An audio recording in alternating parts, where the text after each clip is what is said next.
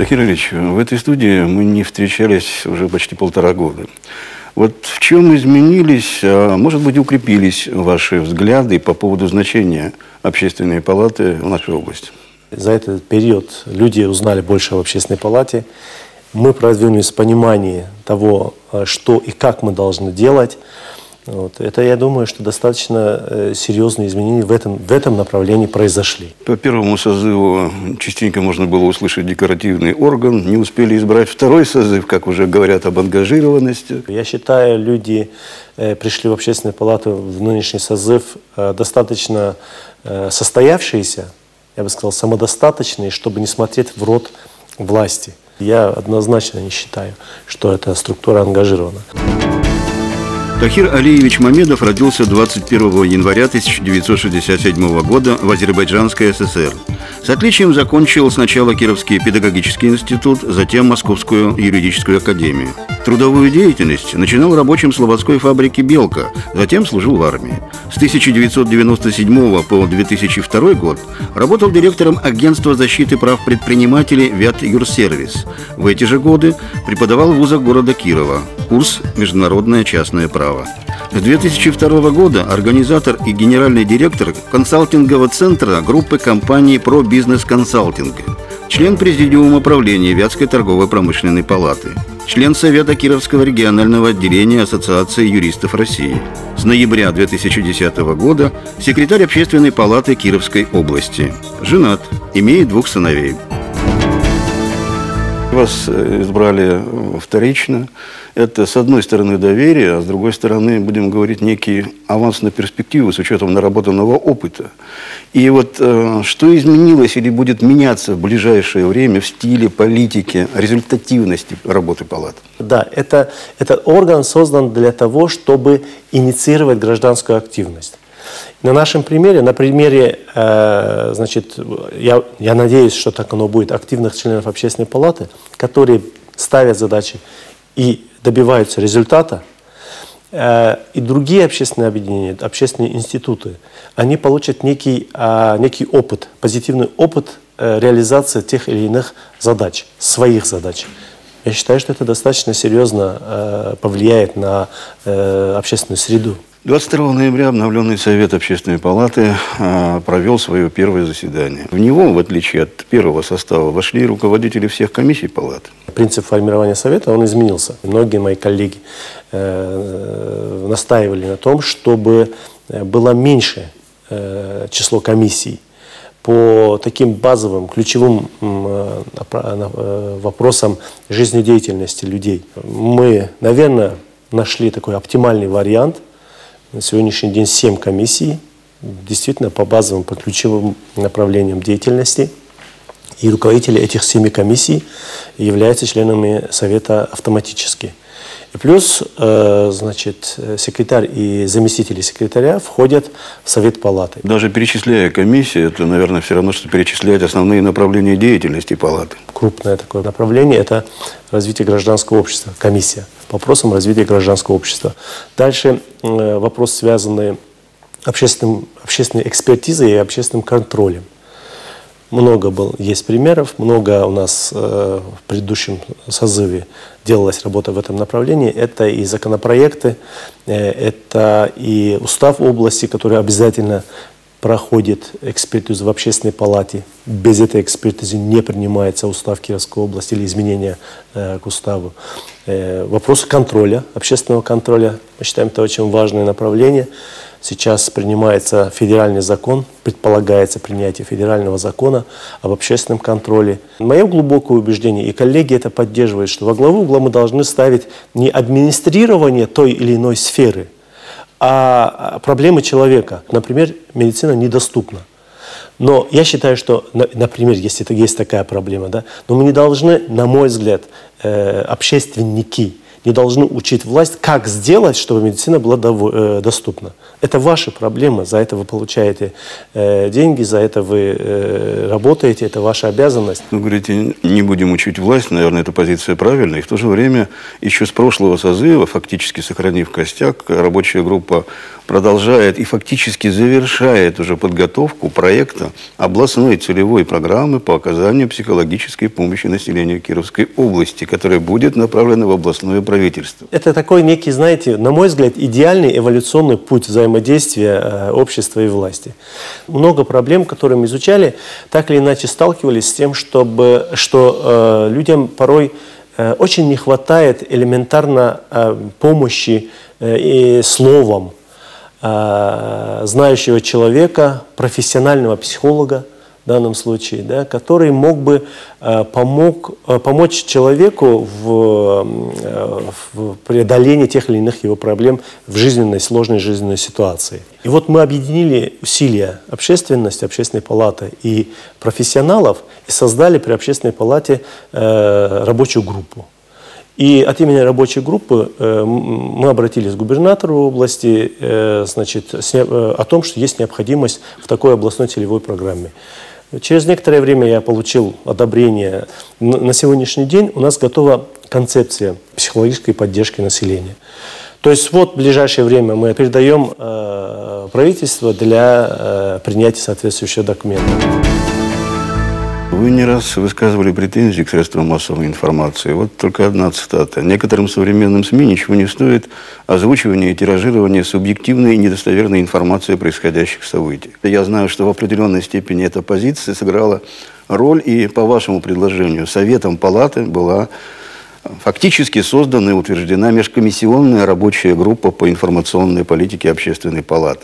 На самом деле очень много э, проблем и я так понимаю, вам лично предстоит с этими проблемами уже как, не как э, представитель ГТРК, но и как э, теперь руководитель этой э, рабочей группы заниматься. Мне кажется, э, с, э, многие СМИ, большинство, заигрывают э, со своими э, слушателями и зрителями, и так, читателями достижения человека труда, но не столь интересно, как интересно, кто кого там зарезал и куда спрятал нож. И, то есть все эти подробности детективной э, жуткой истории, которая происходит рядом с, на, с, с нами, с нашими соседями, там, не знаю, знакомыми и так далее, и так далее. Ну, так называемый трэш. И я считаю, что э, вот такое заигрывание, оно э, безответственно и безнравственно. Это мое глубокое убеждение.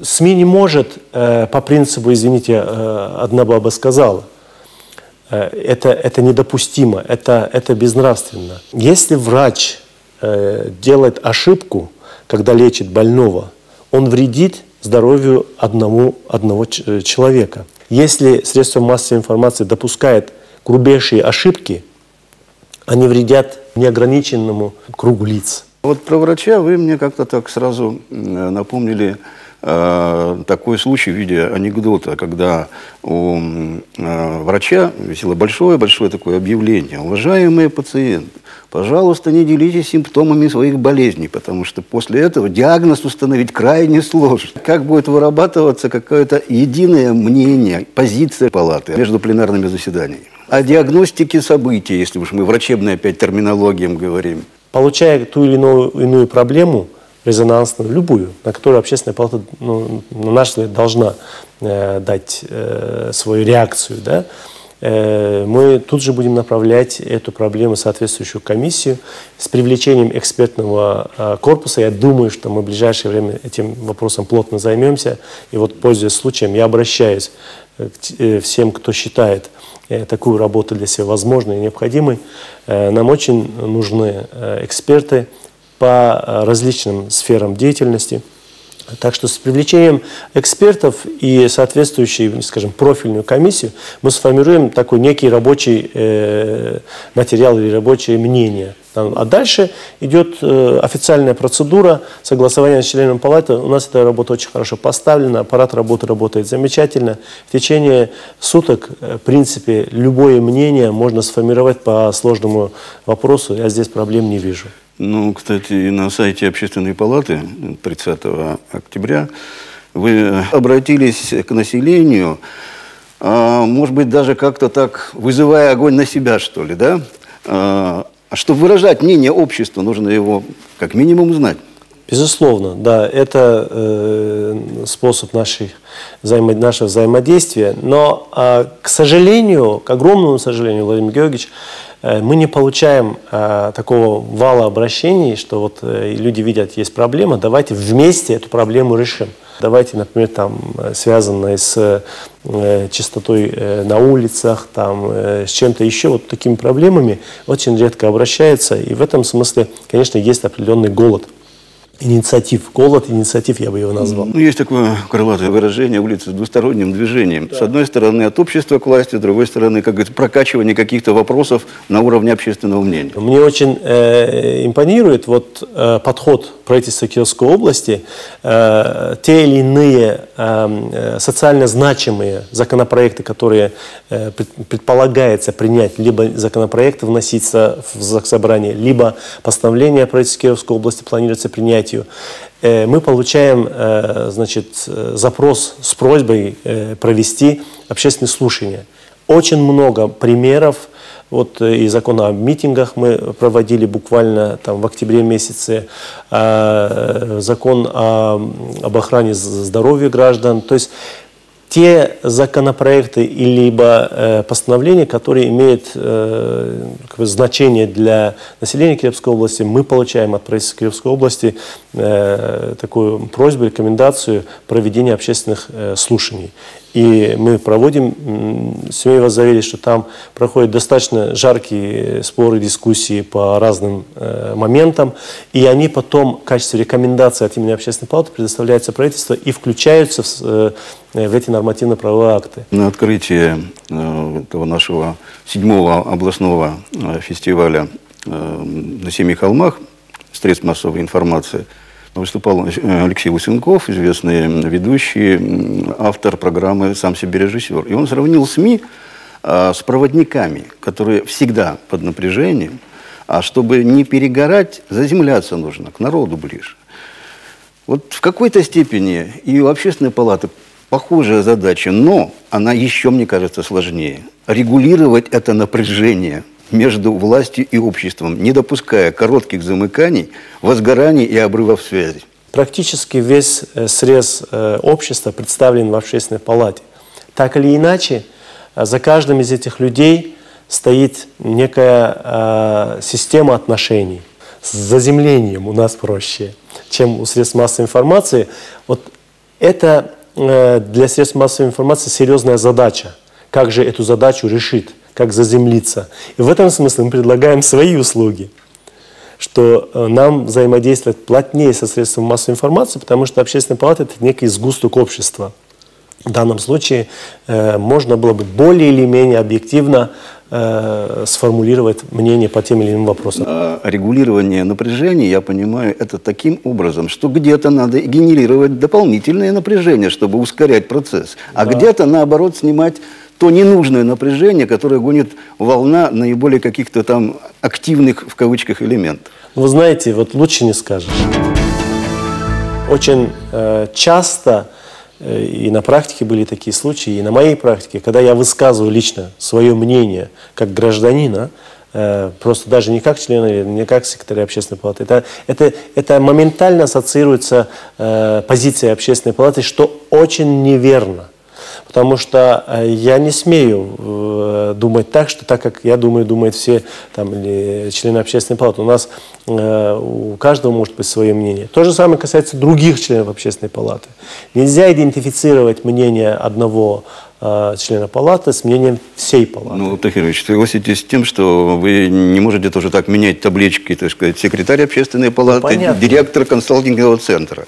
Кстати, э, хочу подчеркнуть, что вопрос поднимался ведь на пленарном заседании перейти на какую-то там постоянную основу. И, кстати, ваша позиция и позиция большинства членов палаты работать только на общественных началах. Да. Кроме небольшого аппарата, который получает заработную плату, который помогает чисто технически и в том числе и информационно, все остальные работают вот просто так. Я даже еще удивляюсь, когда у вас э, в консалтинговом центре стали поменьше, наверное, видеть?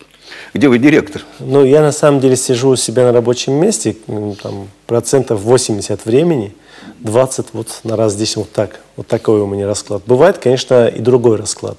А то, что я высказал на пленарном заседании свое мнение, оно однозначно такое. Я считаю, что как только члены общественной палаты, его руководство будет получать заработную плату – а, значит, э, где-то там в кассе, который находится в правительстве Кировской области, или там, э, то есть э, отношение к нам и, и, и внутреннее содержание работы, скорее всего, изменится. Как только члены и руководство палаты станут чиновниками, коль скоро они получают государственную заработную плату, то э, на этой идее можно поставить крест. В своем обращении к населению. Вы подчеркиваете, что общественная палата должна, учитывая интересы жителей Кировской области, выполнять свою миссию, стать реальной основой создания гражданского общества. Вот из этого я делаю вывод, что пока еще не стало. Да, мы далеки от идеала, конечно. Чего уж тут лукавить. Есть люди высокопоставленные, которые э, меня даже э, как-то спросили, а что это такое общественная палата, не говоря о простых людях. И в этом смысле э, и надо еще отметить, что первый состав или первый созыв и работа в первом созыве общественной палаты э, это была, если хотите, некий, э, некой прелюдией к работе. Я так считаю.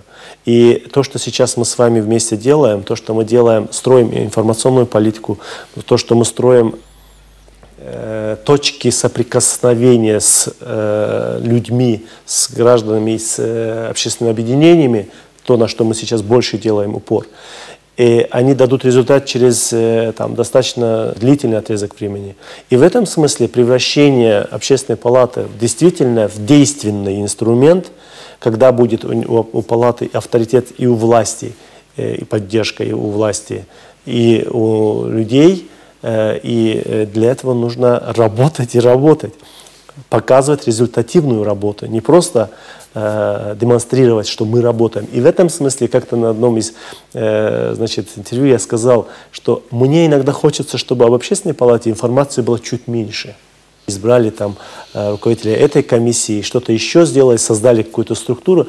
это, это не содержательная новость.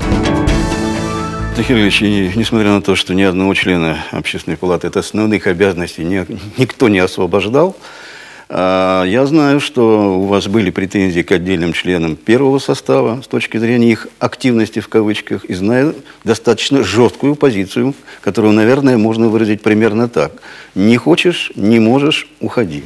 Да. Носить регалии как погоны, не служа обществу, занятие для личности может и престижное, а для общества и власти абсолютно бесполезное.